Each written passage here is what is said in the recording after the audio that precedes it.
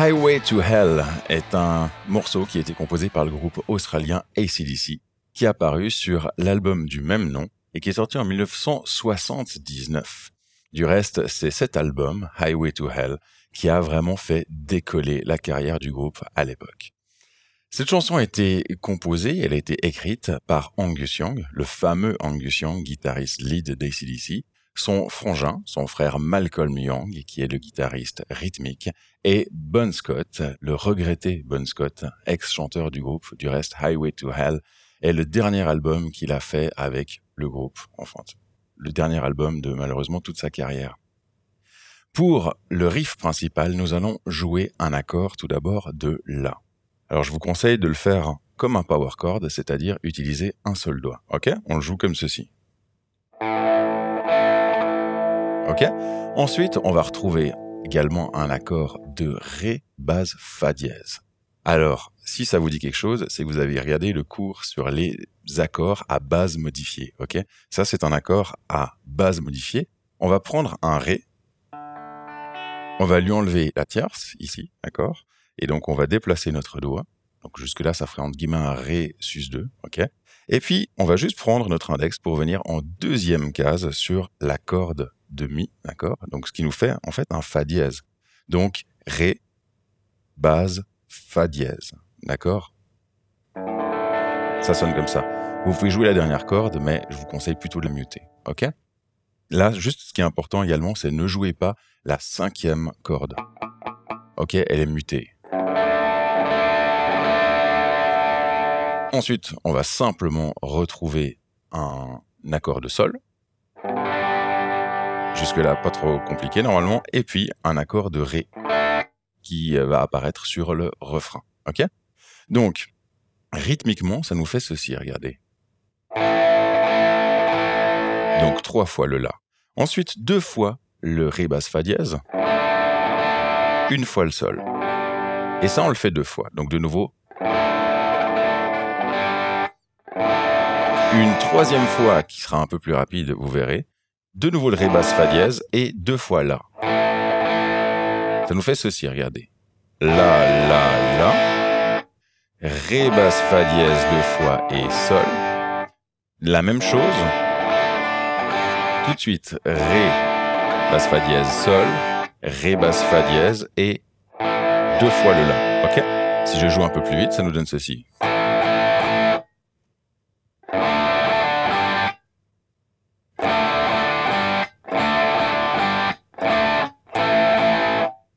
Donc vous devez être à l'aise forcément avec ce changement d'accord du ré basse fa dièse sur le sol et également à l'envers, ok? Donc travaillez déjà simplement ça. Si vous avez un petit peu de peine, travaillez que ça.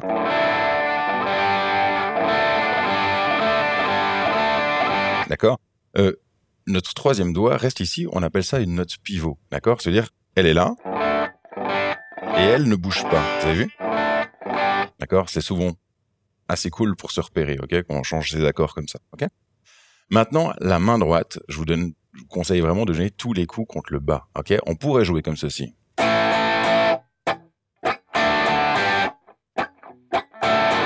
Ok, ça pourrait le faire, mais je vous conseille de jouer tous les coups contre le bas juste pour avoir un son un peu plus, enfin avec simplement plus d'attaque pour jouer, pour interpréter un morceau de hard rock, on est d'accord? Donc, vraiment comme ceci, hein.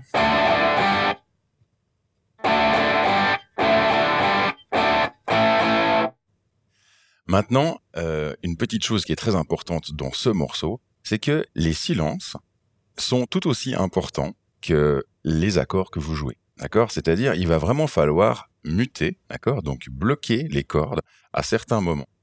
Regardez, on va jouer le La, La, La trois fois. Hein. Et là, ma main droite va venir en fait se positionner comme ceci pour arrêter les cordes, d'accord? Donc vraiment, c'est avec la tranche de votre main droite, ok? Regardez. Ok Je viens la poser vraiment comme ceci. Ok Ensuite, idem.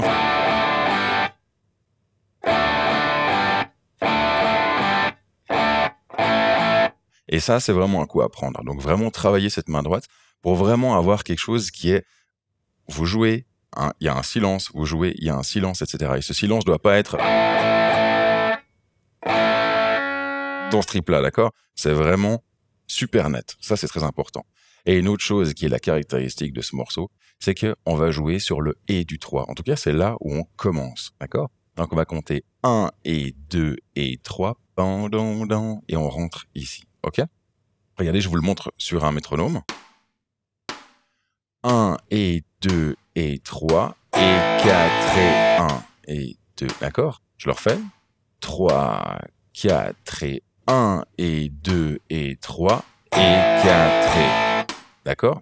Maintenant, pour la suite, je vais également compter les temps pour que vous puissiez voir où se trouvent en fait vos à Mais le plus simple, c'est clairement d'avoir le riff dans la tête. Ok, donc écoutez le morceau. Ok, il faut vraiment que vous arriviez à le chantonner au niveau rythmique. Si vous arrivez à faire ça, vous voyez tout de suite où sont les changements d'accords et surtout où sont les silences. Ok, on le fait une fois ensemble. 1 et 2 et 3 et 4 et 1 et 2 et 3 et 4 et 1 et 2 et 3 et 4 et 1 et 2 et 3 et 4 et 1 et 2 et 3 et on recommence, ok? Encore une fois. 1 et 2 et 3 et 4 et 1 et 2 et 3 et 4 et 1 et 2 et 3 et 4 et 1 et 2 et 3 et 4 et 1 et 2 et 3.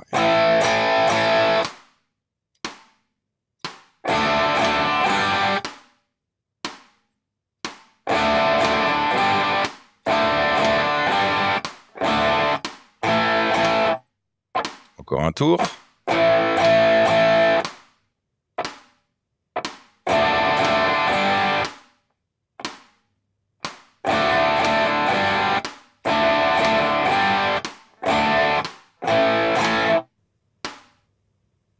Très bien.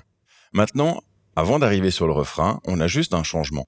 En fait, le dernier La va être remplacé par un Mi, un Mi majeur, ok, qu'on va jouer en croche sur deux mesures. Ça nous fait ceci, regardez.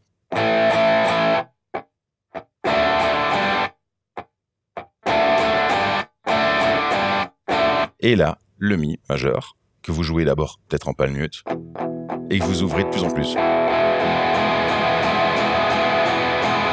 Et là, on arrive sur le refrain. OK? On réessaye juste une fois ça ensemble. OK? Donc, je vous propose qu'on joue directement sur le playback. Euh, j'ai enlevé l'intro où vous jouez tout seul, d'accord? Comme ça, simplement, on rentre directement sur une batterie. OK? C'est un peu plus cool et c'est plus facile à se repérer. OK? 1 et 2 et 3 et 4 et...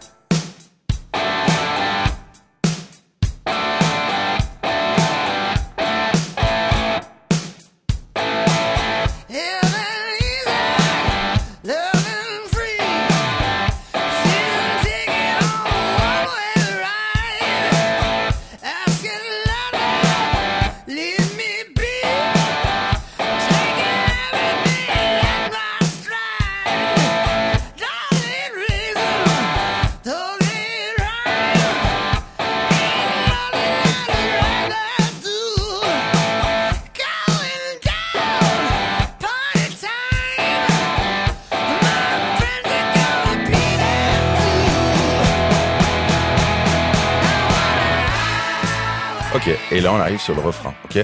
Vous avez vu en fait où est ce passage sur le mi, ok? Donc, euh, pour la suite, pour le refrain, on va simplement retrouver un accord de La. Alors comme le début. Et ensuite, on va partir sur un Ré. Alors, ce Ré-là est anticipé, c'est-à-dire qu'en fait, il est sur le Et du 4. Regardez, ça nous fait ceci. 1 et 2 et 3 et 4 et 1 et 2 et... D'accord?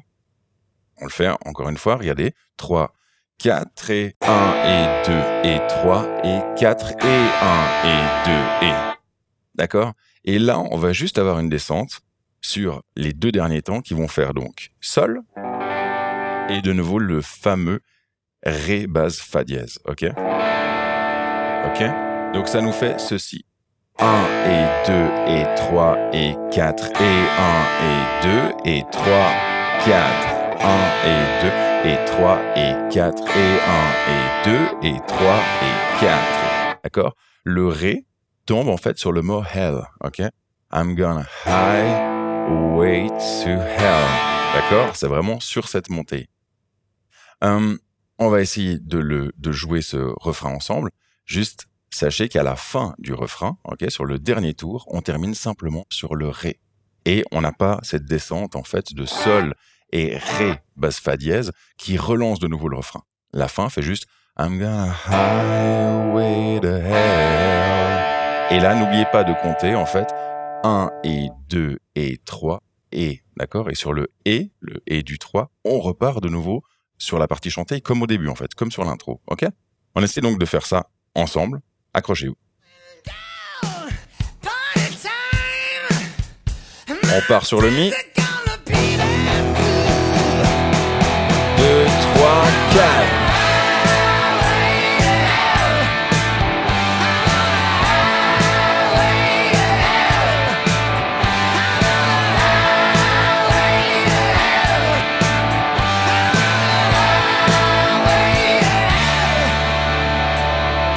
1 et 2 et 3. Ok Faites attention à la reprise sur la partie chantée. Ok? Maintenant, au niveau de votre euh, du refrain, vous pouvez le rendre un petit peu plus complexe, c'est-à-dire jouer un petit peu plus de coups que simplement jouer les temps et contre-temps, mais en tout cas sur les changements d'accords. Ok? Au lieu de faire 1 et 2 et 3 et 4 et 1 et 2 et 3 4. Si on écoute bien ce que fait Angus, il a tendance à jouer tous les temps. Donc sur le La, il joue 1, 2, 3, 4. ok? Et ensuite le Et, simplement sur le Et. Donc ça fait 1, 2, 3, 4 et. D'accord Maintenant, si vous avez de la difficulté sur le changement, sur le 4 et le Et, d'accord Ça vous laisse peu de temps pour changer. Vous pouvez tout à fait mettre des cordes à vide. Regardez. 1, 2, 3, 4. Et poser le Ré. D'accord? En contre-temps, ça nous fait 1, 2, 3, 4 et... Ok? Et même sur le changement pour venir sur le sol, vous pouvez aussi vous permettre de, de faire ce genre de choses. Ok? À condition, essayez déjà de tout jouer si c'est possible, ok Et puis sinon, faites simplement des levées d'accords comme ça où vous grattez entre, ok C'est très courant, ok Maintenant, euh, idem sur l'accord de Ré, ok On entend souvent, ok Simplement au bas, haut. Ok Et ensuite, donc ça nous fait 1, 2, 3, 4 et au bas, haut.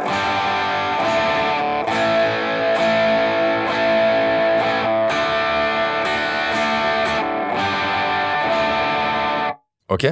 Donc, on va de nouveau jouer le, sur le playback, essayer de, essayer de rajouter les coups, ok? Ou simplement, si c'est trop difficile, d'accord Vous faites que les changements, ça va aussi très très bien, ça sonne super bien comme ça, ok? Mais essayez de rajouter quelques à -coups. On rentre sur l'accord de mi.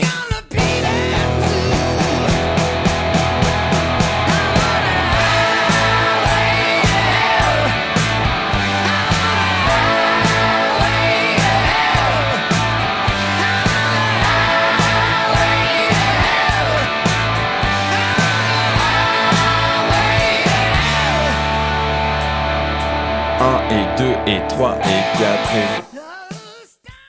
Ok, nickel. Là, en fin de compte, il nous reste plus que la partie de l'interlude. Cette partie, en fait, est juste avant le solo. C'est pour lancer le solo, ok? Donc là, on retrouve que deux accords. C'est très simple, des accords qui sont déjà utilisés du reste. On a simplement un Ré, un Sol, et de nouveau un Ré.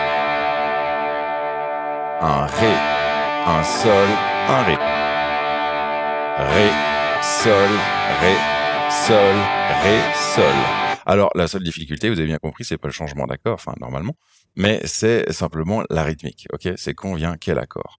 Donc, vraiment, ça nous fait ceci. 1, 2, 3, 4.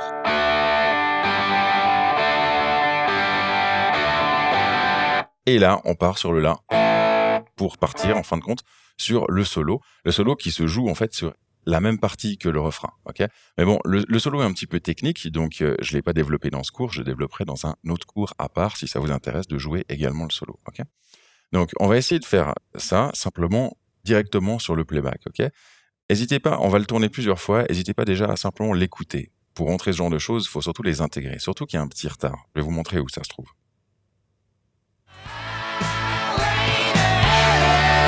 3, 4. 2, 3, 4.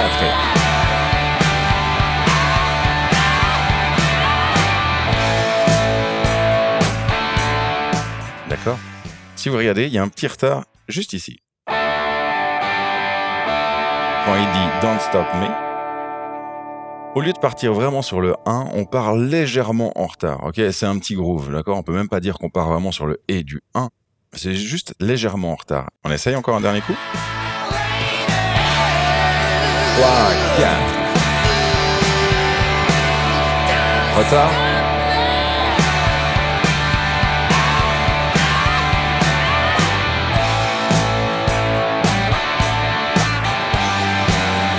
Nickel.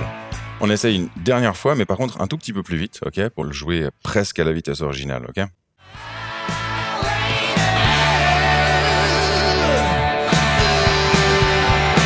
Petit retard.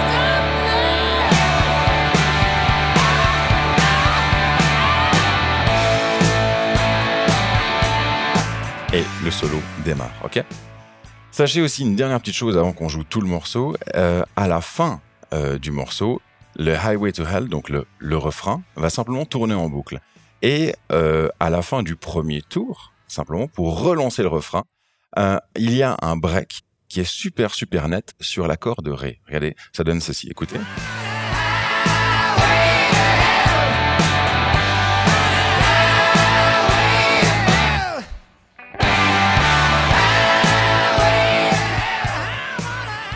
On fait souvent ce genre de choses en fait, donc on fait un, break net, on change pas du tout la rythmique, on l'a juste arrêté, ok, et on reprend nos sur le sol et ré basse fa dièse et on recommence, ok? Donc entre, si on écoute bien ce que fait Angus, il, rajoute simplement un espèce de slide qu'il fait donc avec euh, avec euh, son médiator. Et il va se faire ceci. I'm gonna to hell. Et là, il gratte les cordes comme ceci. Et en plus, il donne un petit coup avec, donc il gratte les cordes au hasard un petit peu et il fait ceci. D'accord? Donc, ça donne ceci rapidement.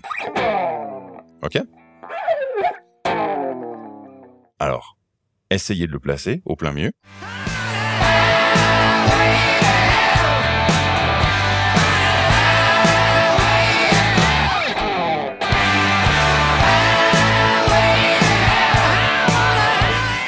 etc. Et le refrain, en fait, continue simplement comme ceci, Essayez plusieurs fois de tourner éventuellement euh, cette partie en boucle, ok? On peut la refaire une fois encore. Essayez simplement de, de donner cet effet, cet effet et bien revenir sur le sol. C'est là où la difficulté. C'est pas forcément de faire juste ceci, mais c'est surtout de bien reprendre sol et ré basse fa dièse pour relancer nous le refrain. On essaie un coup.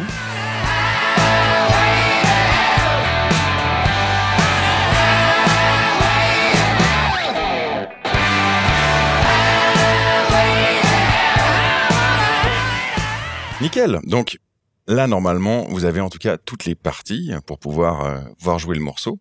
Chose donc qu'on va faire ensemble. Je vous propose donc qu'on joue tout le titre de A à Z euh, à une vitesse qui est la plus lente. Ok? Accrochez-vous. 1 et 2 et 3.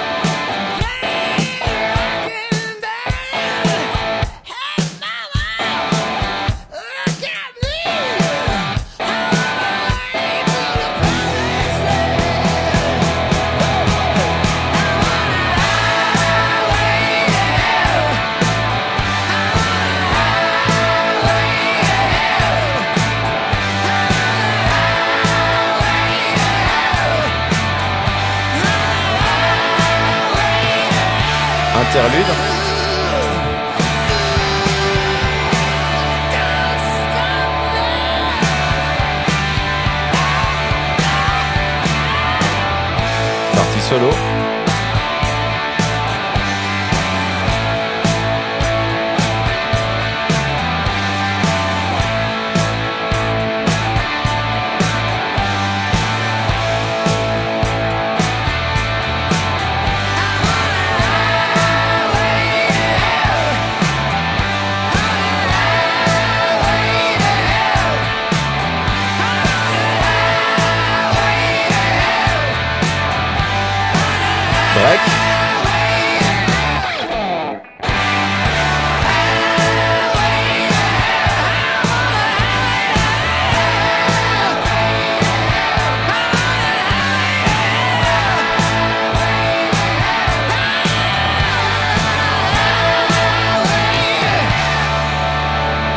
Sur le ré.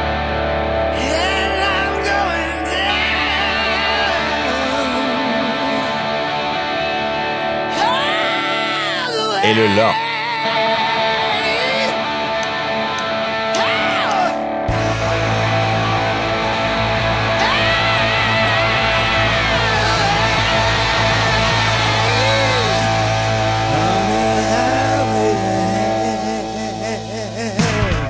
Nickel. Donc vous connaissez maintenant toutes les parties du morceau, à l'exception du solo que vous pourrez apprendre dans un autre cours. Euh, travaillez donc à cette vitesse si vous en avez encore besoin dans la zone des playbacks. Ensuite, essayez de passer donc au middle tempo et puis jusqu'à arriver donc à la vitesse originale. Et donc faites honneur à Hang Xiang, s'il vous plaît. Euh, si jamais vous désirez faire un solo en attendant d'apprendre le solo original, n'hésitez pas à simplement euh, utiliser votre gamme pentatonique en La, d'accord Donc juste ici. La première position, ou les autres positions si vous les connaissez afin de pouvoir démancher. Vous verrez, ça sonne super, super bien sur ce morceau. Bye bye